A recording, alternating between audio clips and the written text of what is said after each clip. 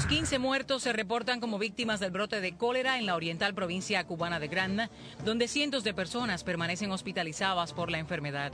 Según los testimonios obtenidos por el sitio de internet Café Fuerte, entre residentes y personal de salud pública en los municipios de Bayamo, Manzanillo y otras localidades del territorio, a los fallecidos se les expide un certificado de defunción por insuficiencia respiratoria y no por cólera.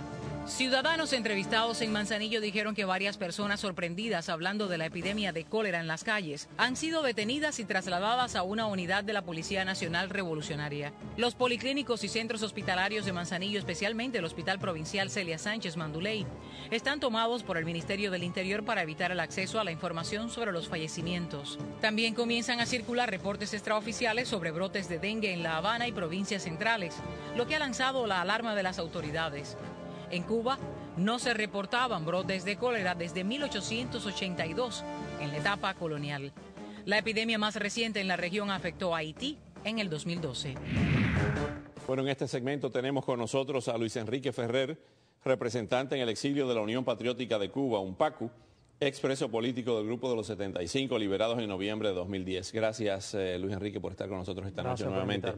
Y tenemos con nosotros a nuestro compañero periodista de reportero de Noticias 41, Ernesto Morales Licea.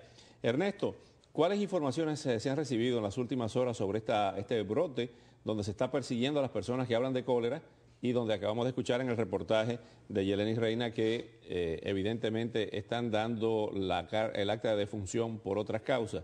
Eh, tú eres de la zona. Eh, es la primera vez que tú recuerdas este brote, ¿no? Bueno, de cólera exactamente sí.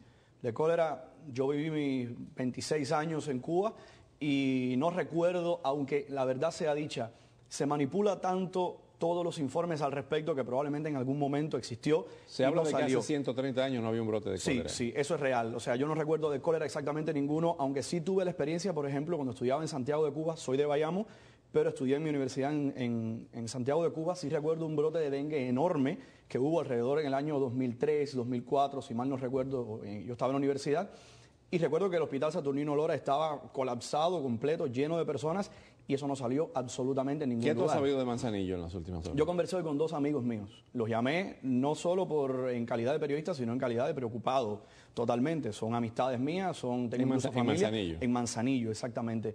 Y uno de ellos, por cierto, el padre de uno de ellos es médico, en este momento no está en activo, recién había regresado a Cuba de Venezuela, pero él me comentaba que el hospital Calixto García, que es el hospital principal de la ciudad, está en una especie de cuarentena no declarada ¿En qué sentido? No se ha dicho eh, concretamente que están en cuarentena y que no pueden entrar o salir personas, pero sí están limitando prácticamente al máximo la entrada de personas para que no se vayan a contagiar y, bueno, solamente personas que sean estrictamente necesarias para visitar a los familiares que tienen adentro. Además de eso, es muy cierto lo de que se está ocultando la causa de las muertes de las personas.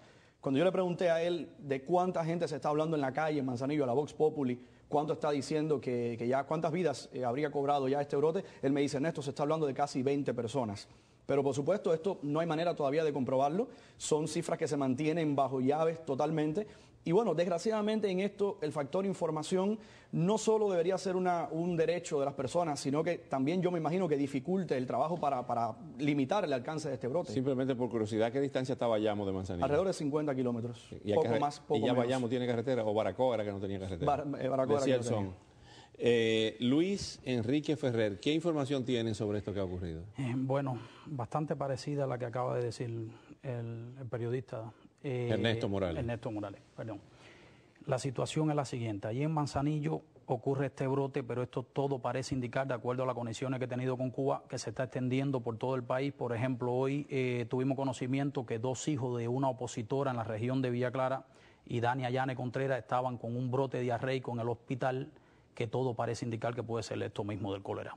En Cuba se confunde mucho esto porque hay una situación real. Aparte de la desinformación del régimen, cada cierto tiempo por la insalubridad que padecen los cubanos, la, carencia de agua potable, hay brote diarreico provocado por amebiasis y otras bacterias y hay veces que las personas, al no conocer que hay un brote de cólera porque el gobierno lo oculta, pueden atribuirlo a algo parecido y no tomar medidas a tiempo para tratar de frenar el avance de esta enfermedad y, curar a la persona lo más pronto posible. Estamos hablando de una enfermedad que mata a las personas por carencia de líquido en el cuerpo, no retiene los líquidos y, eso lleva a la, muerte de la persona. Y ellos están entonces informándole que la gente está muriendo por problemas respiratorios. Están tergiversando la realidad y eso puede ser fatal para muchas personas dentro de Cuba que sin conocer lo que está ocurriendo realmente y qué lo puede llevar a la muerte, no acudan a tiempo a un médico. Pero utilizando la lógica, y es una pregunta y, en base a lo que ellos han- han dicho, si la gente está muriendo de problemas cardiorrespiratorios, entonces hay un brote de enfermedad cardiorrespiratoria.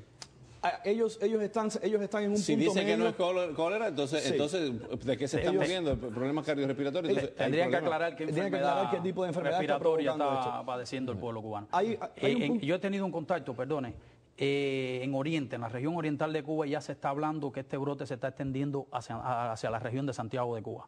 Eh, un, mun- un brote de municipio, cólera. El brote de cólera. Un municipio colindante llamado Jiguaní, de la provincia de Granma, de la que pertenece, a la misma que pertenece Manzanillo, es colindante, hace frontera con la provincia de Santiago de Cuba y ya se está comentando que allí en Jiguaní también hay problemas de cólera. Eh, la gente está alarmada, casi aterrorizada con lo que está ocurriendo, porque como el gobierno no le informa, los medios de prensa del gobierno no informan lo que ocurre realmente y cuáles son las medidas que ellos pueden tomar, la gente está viendo esto como un fantasma que le está cobrando la vida a, una veintena de personas en la región de Manzanillo y que se sigue extendiendo.